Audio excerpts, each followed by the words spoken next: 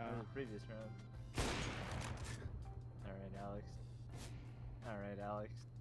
put it in, Alex.